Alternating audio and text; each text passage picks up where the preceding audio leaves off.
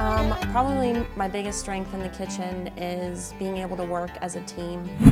Um, I definitely want everyone to know where I'm at in something and um, I think communication in the kitchens, especially in the professional world, is very important about calling out things and what other people are doing and where they're at with something. Like need to know where everyone else is with the product to know what you need to be doing or what you should have been doing.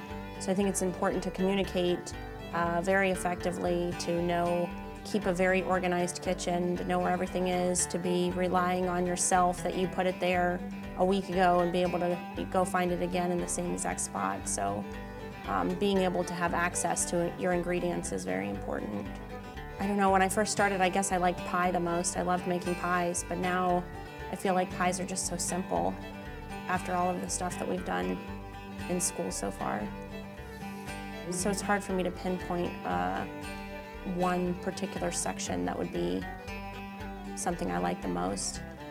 Just clean and organized, um, specializing in pastries and, and baked goods, um, something unique having top of the line equipment, definitely, because all the technology that's out there these days just makes everything so much easier. I've started to realize something as simple as like a dough sheeter. You don't even realize how handy that is in a pastry shop or in a bake shop kitchen.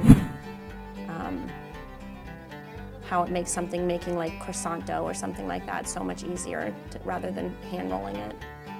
I think it's important to have both environments. I think um, to have a hectic environment sometimes, but also have like a peaceful, calming environment sometimes, depending on you know what you're producing and um, how fast you need it to be produced.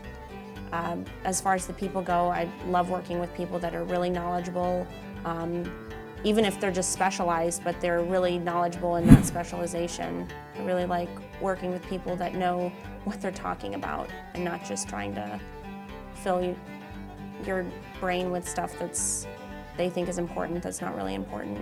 I mean, so far everything has just been a, a, really good stepping stone for me. I don't think I really have like a success story yet. Um, currently I'm working at a bakery and everything that I do every day there has been a huge stepping stone for me.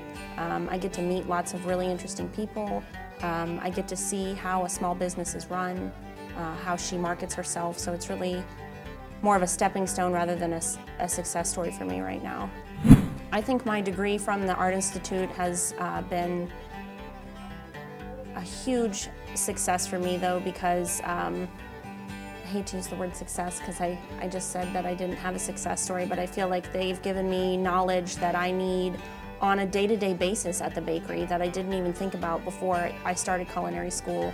Um, the things that I've learned here, I'm going to be able to take with me anywhere I go and be able to use it, I know, on a, on a weekly basis for sure. I mean, I've always had a passion for food. Uh, just recently, like in the last year or so, I um, definitely realized that I wanted it to become a career for me. I wanted to go to pastry school right out of high school, but instead I went to university and got my degree in art, and um, now I'm using I feel like I'm using my art degree even more to this point because I'm just making like edible art for the most part. So I can use my artistic skills to create something beautiful, but it's uh, impermanent. It's gonna get eaten and destroyed, but I mean, there's something to be said about that. I think it's a great, inexpensive way to produce art, honestly. Like if you think about uh, artists, sculpture artists, glass blowing artists, um, canvas artists, like all that stuff is so expensive and now I can I can produce little pieces of art very inexpensively and not having to worry about where it's going to go or um, it being purchased. It's just going to get eaten and then it's done. I think it's hard because I would definitely want to choose all three, but I think lifestyle is probably more appropriate for me just because it infiltrates like every piece of my life. Like it, it's what I do every day. So it's not just an art or a business for me, it's definitely a lifestyle just because it completely enrobes me.